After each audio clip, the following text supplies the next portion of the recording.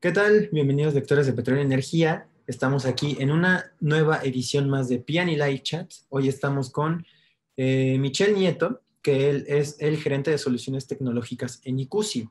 ICUSI es una empresa con más de 50 años de experiencia que ha implementado soluciones de seguridad para infraestructuras críticas, que ahorita en un momento vamos a hablar un poco más de ello a fondo. Ellos emplean diferentes metodologías como la protección a profundidad, la seguridad balanceada para generar diseños de protección física que posteriormente se convertirán en robustos sistemas de seguridad electrónica. Su conocimiento va más allá de ser expertos en sistemas de seguridad y cuentan con especialistas en metodologías para generar seguridad a través de la modificación de los espacios. Eh, pues bienvenido, Michel. Muchas gracias por aceptar esta plática con nosotros, por, por estar aquí en este espacio. Este, pues un placer saludarte. Muchas gracias, Eric. Eh, agradecerte a ti también el, poder eh, compartir con, contigo y con el público, bueno, pues eh, un poco de lo, que, de lo que hacemos en ICUSIA. Pues muy bien. Entonces, yo te quiero empezar por preguntar, ¿cómo surge ICUSI? ¿En qué momento, pues, nace esta idea para, para generar todos estos, todos estos este, servicios que ustedes tienen dentro de la empresa? Mira, Icusi es una empresa que es parte del grupo Velatia. Velatia es un grupo familiar, industrial y tecnológico que, bueno, eh, tiene una experiencia ya de más de 50 años en el mercado y eh, pues está reconocida internacionalmente, ¿no? Tenemos proyectos en, varios países del mundo y es como, como nos ha conocido el, mercado, ¿no? A través de toda esta experiencia y a través de todo este grupo que, conforma el grupo Velatia. Muy bien. De, dentro de la presentación que, acabamos de hacer, pues hablamos un poco de la infraestructura crítica, ¿no? Yo tengo esta pregunta para ti, es ¿cómo funciona la infraestructura crítica dentro de México? Sobre todo explicarlo para todos los lectores que pues no saben acerca de, esta innovación que ustedes tienen. Si nos pueden platicar un poco. Por Me gustaría iniciar em, eh, con un, pequeño resumen de lo que es una infraestructura crítica, para que todos lo, entendamos de la misma manera, pues es, este concepto de infraestructura crítica se le denomina aquellas instalaciones y también aquellos procesos que pues, juegan un, papel muy importante para una nación, ¿no? Porque de ellos depende la, estabilidad económica, la estabilidad de la salud, la movilidad, la energía. Entonces, estos lugares y estos procesos pues son, son vitales y tienen que ser protegidos de, una manera muy especial. los métodos para protegerlos van más allá pues, de una simple cerradura, una simple puerta, ¿no? Se requieren eh, habilidades, se requieren conceptos muy específicos y, bueno, pues claro, aplicar la última tecnología para mitigar cualquier, cualquier amenaza que, que rodea estos sitios o procesos. Aquí en México, por ahí de 1995 se crea un grupo eh, que se le conoce como el GCIE, se crea por parte de, gobierno, donde este grupo pues coordina, tiene la misión de coordinar la protección de las infraestructuras críticas. Este grupo, bueno, pues pasa eh, eh, a evolucionar y a ser parte de, más de un grupo en, en la parte de gobierno, y, bueno, pues ellos son los encargados, ¿no? En, la parte gubernamental de, identificar estas infraestructuras y, bueno, pues de, sugerir cuáles son los métodos de protección. Eh, la realidad es que al día de hoy no existe todavía un estándar eh, para proteger estas infraestructuras. En otros países sí hay lineamientos muy claros donde se identifican y, y se dan las pautas para proteger la infraestructura dependiendo de su criticidad. Aquí en México Todavía no hemos llegado a ese nivel y es por eso que empresas como ICUSI, bueno, pues pueden ayudar de manera bastante eficiente a, proteger estos espacios. Muy bien, Michel. Y, ahora, este, pues, ¿cuál, ¿cuál, sería un ejemplo de este tipo de infraestructura en, el país? Este, pues, si, si, nos pudieras platicar un poco sobre, pues, más allá de cómo funcionan, pues, un ejemplo claro de, de este tipo de infraestructuras? Claro que sí, eh, Eric. Mira, pues en México las infraestructuras críticas, que también se les conoce como infraestructuras estratégicas, pues bueno, van en todo el tema de que es energía, todo el tema que es transporte, energía, pues podemos hablar específicamente de, la Comisión Federal de Electricidad, de la generación de, energía eh, en ese sentido, podemos hablar de Pemex. ¿Por qué? Porque, bueno, pues es un, es un actor clave para el, todo el tema de extracción y, provisión de, combustibles. Podemos hablar también de todo lo que es las cadenas de suministro. ¿Por qué? Porque en México es sumamente importante la alimentación. Entonces, el que se ve interrumpida una cadena de, suministro para la alimentación, pues puede ser bastante catastrófico. Eh, todo lo que son los aeropuertos, las vías de comunicación y los puertos también. Digo, los puertos sabemos que, hay eh, pues una entrada muy importante de, mercancías, tanto de importaciones como de exportaciones, entonces son puntos vitales aquí en México. Hay, algunos otros también que empiezan a considerarse, que son, por ejemplo, los monumentos históricos, ¿no? También se les considera como pues, unos elementos que pues, requieren de una protección especial. Muy bien, Michelle. Una duda que, yo tengo es, pues, sabiendo que como tú me mencionas que pues son aeropuertos, sobre todo de transporte y demás, pues en cada una de esas locaciones pues puede existir algún, algún fallo, algún accidente, ¿no? Algún este, riesgo, por así decirlo. Ahora, de parte de ICUSI, ¿cuáles son los protocolos que ustedes tienen en caso de que exista un fallo en estas infraestructuras críticas? Mira, eh, del lado de la vertical de seguridad de NICUSI, eh, nosotros la, está conformada por, por, dos tipos de especialistas que ayudan en este sentido. Uno son los especialistas en la parte metodológica de seguridad y otros son los especialistas en la seguridad electrónica, que ellos se hacen cargo, bueno, pues ya de implementar herramientas precisamente tanto para mitigar las amenazas como para reaccionar en caso de un incidente de, de riesgo.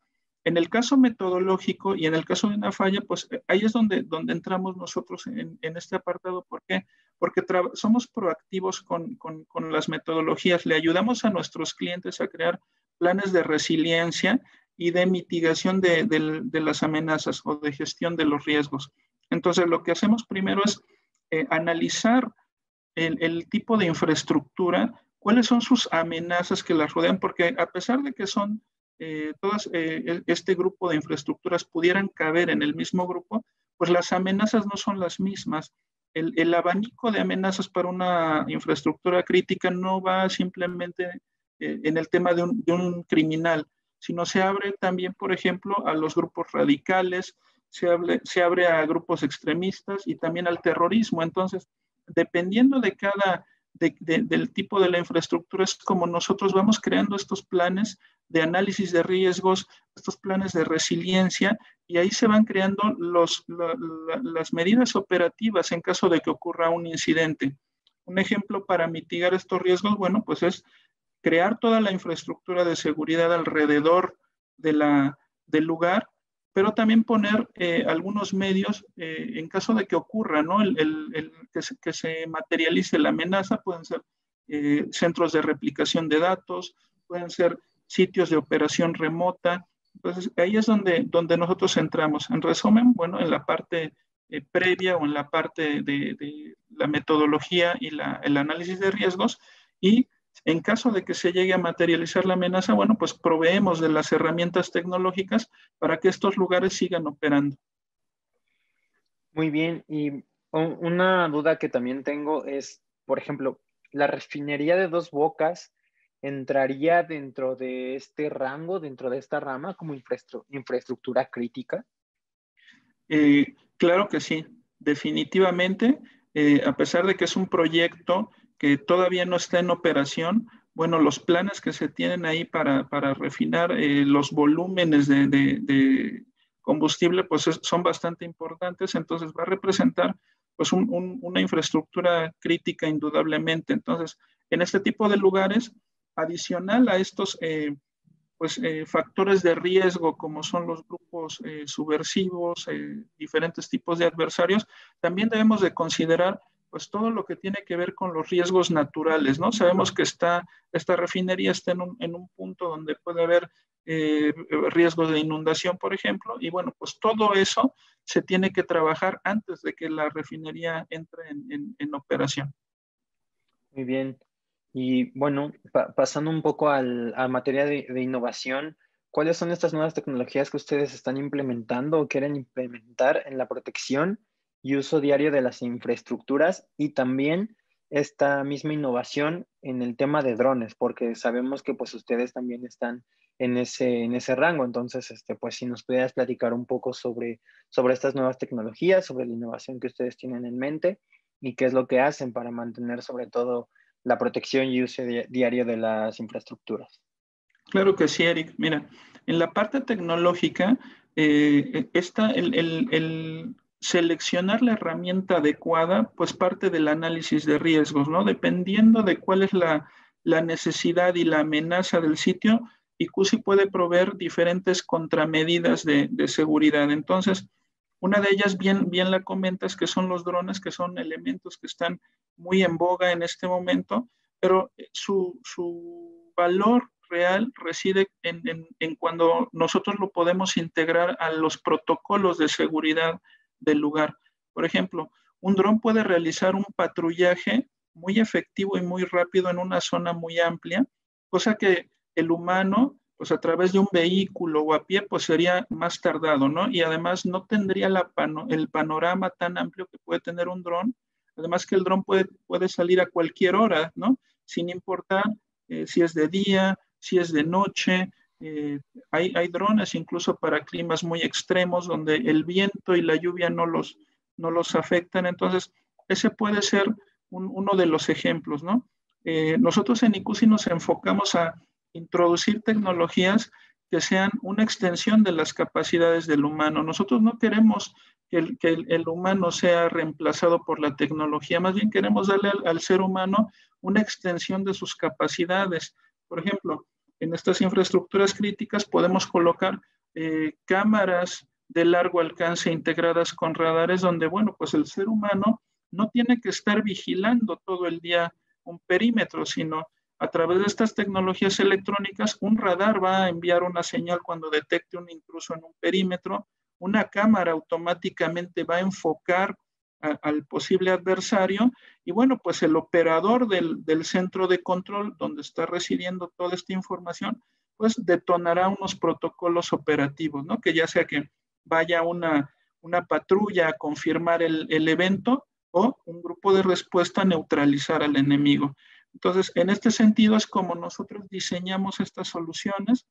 Sé que es una, eh, una frase muy trillada, pero la realidad es que hay que hacer tra trajes a la medida.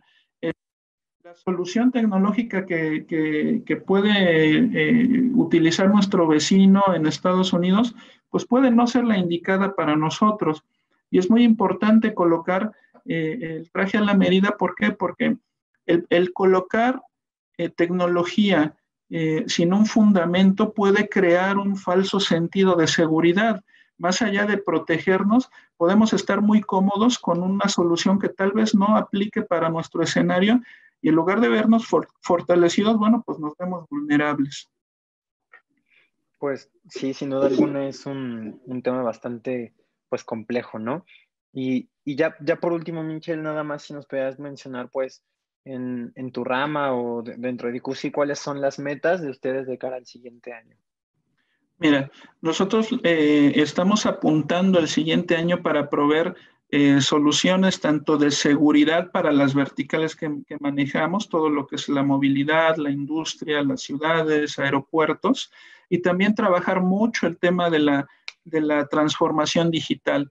Lo que buscamos nosotros para el siguiente año es dotar a nuestros clientes de todas estas herramientas tecnológicas para que ellos puedan enfocarse realmente a lo que es el negocio y, y no preocuparse por, por herramientas eh, que son como accesorios, ¿no? Entonces lo que queremos es eso, enfocarlos a lo que real, en lo que realmente son buenos, proveerles herramientas para ser más rápidos, para hacer sus negocios, para ser más eficientes, eh, eh, realizando sus procesos y sobre todo, bueno, pues eh, ahorrando, ¿no? Porque en temas, en, ahorita como estamos en, en los temas de pandemia, es súper importante para las empresas poder hacer un gasto muy eficiente. Entonces, ICUSI los puede ayudar en ese sentido.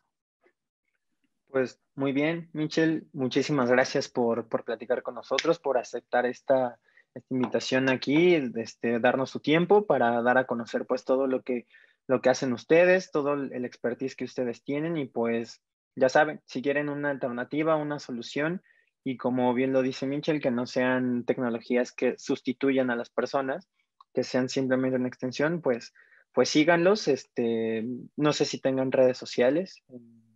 Sí, claro, Eric. Eh, nos pueden buscar en, nuestra página ICUSI Latam.